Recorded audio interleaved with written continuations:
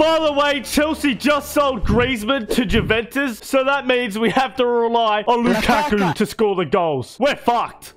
La caca. What the fuck is that? There is only one person who can save us right now, and that is the bald-headed prince, Romelu Lukaku.